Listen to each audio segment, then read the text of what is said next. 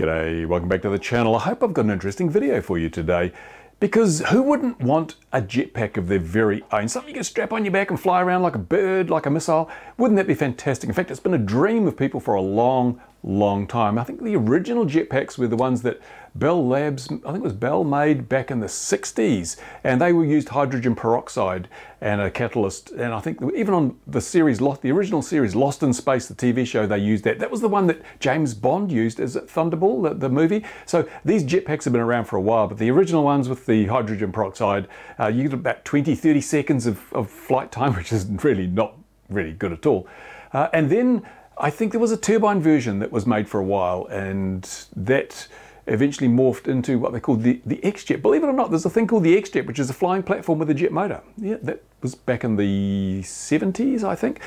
But anyway, now you can buy your very own jetpack, and it's not expensive, I gotta say. And it comes as a result of the fact that here in New Zealand, we had a company called Martin Jetpack. It was a guy called Glenn Martin. He was a pharmacist. He came up with this idea of making a jetpack and making it commercially available. And he talked to a few people, and he was well connected.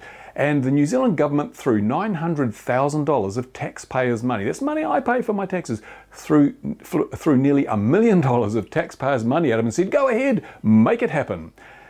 And right from the get go, I was very skeptical. Now, in 2008, Glenn Martin and his, uh, his accomplices went to the Oshkosh Air Show and they debuted the Martin jetpack and it took the media by storm. The media was overwhelmed. Look at this, the future of aviation, a jetpack. You can strap it on your back and fly around.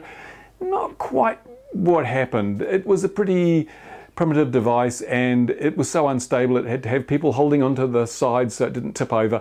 But it was it was a concept. It was a proof of concept. This thing could fly. And with all the money coming in because he had the government funding, and then some venture capitalists came in and said, "Woo, it was pretty well received at Oshkosh. Have some more money. Have some more money." So people were throwing money at the Martin Jetpack Company, which was then going to produce these jetpacks. There were a lot of claims made for these things. They were going to revolutionise commuting. Instead of having to drive an hour through busy city traffic every day to go from your home to your office, you could just jump in your jetpack, fly to your office, couple of minutes, do your work, fly home. Fantastic. No more urban, no more commuter struggle. Um, it was, yeah, there was a lot of hype. There was a lot of sizzle around this product. And I've been writing a technology column for over 26 years now. Every day I write this little column. It's a blog these days. When I started, it wasn't a blog because there was no such things as blogs. But I started this.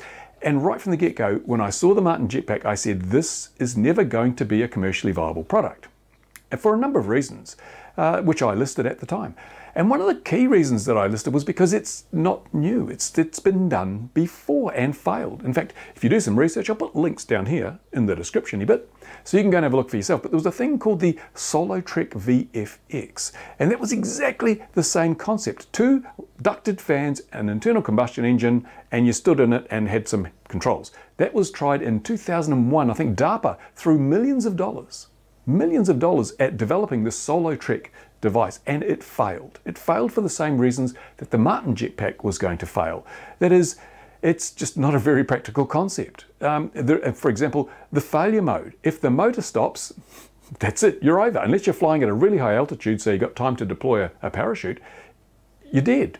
And if you land on someone below, they're dead too. So it wasn't a particularly safe device. At least with a helicopter, you've got a chance of survival. You can auto-rotate uh, if you have an engine failure. But with the jetpack, it becomes a small windowless building with you inside as it plunges towards the ground. So, and also the power to weight ratios and the efficiencies just weren't there. When the Martin jetpack was originally announced, it was going to have massive range and endurance and so forth, and it looked like a fantastic device.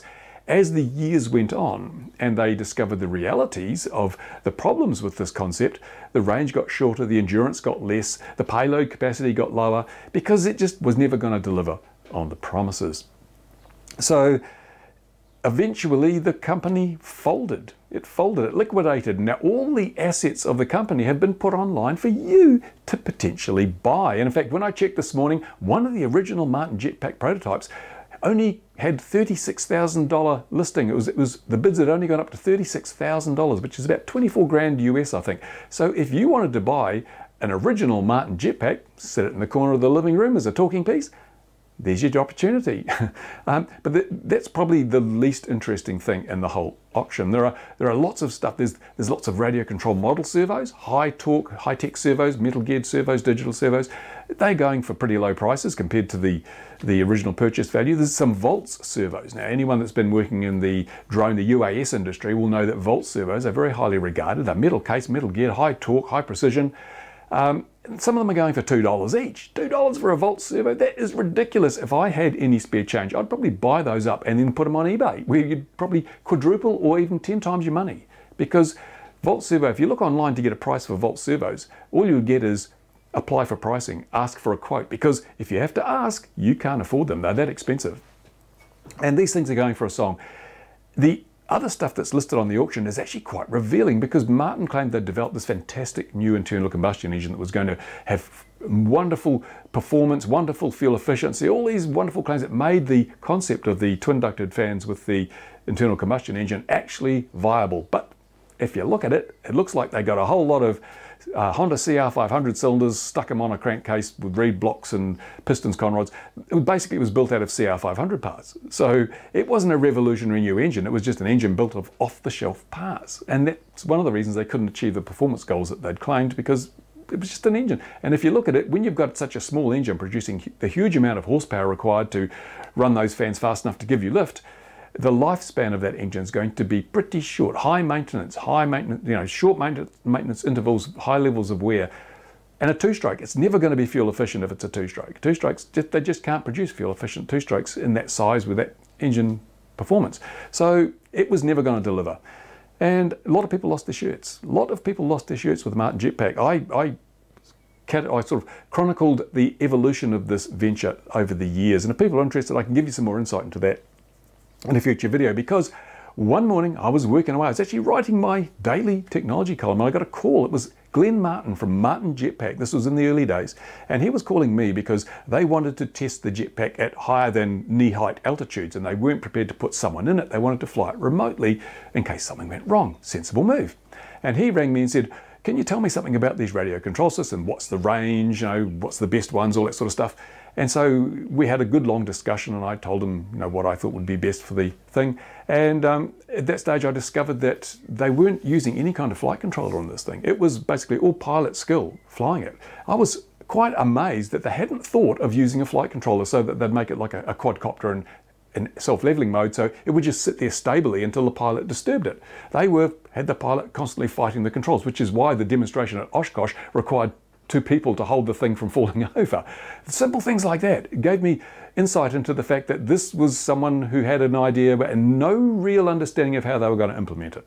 And ultimately the whole thing, as they fell apart in the future. I'll give you, I'll go through the chronicle chronicles I wrote of how this thing was a, a perfect case uh, study case of how startups can go wrong and how that can really, really screw people at the exit stage of the whole venture. Anyway, I'll do that later if you need to. But in the meantime, go and have a look. I'll put some links down here for you to look at the Solo Trek, what, what the first iteration of this was and why it failed, and also at the Martin Jetpack itself and the auction, the auction where you can go and buy this stuff now for giveaway prices uh, if you really are interested. The auction's close soon, so don't delay, go and do it now. I'm not making any money. This is no affiliate links down here. This is all just informational stuff, and I hope you find it interesting. Um, as I say, I'll give you some more background if you want it into the the evolution of this this what turned out to be ultimate disaster. And as I said at the beginning, it will never fly, figuratively or literally, and that turned out to be the case. Anyway, thanks for watching. It's just a little bit of an info video today. Thanks to my Patreon supporters. You make it possible for me to make these videos. Bye for now.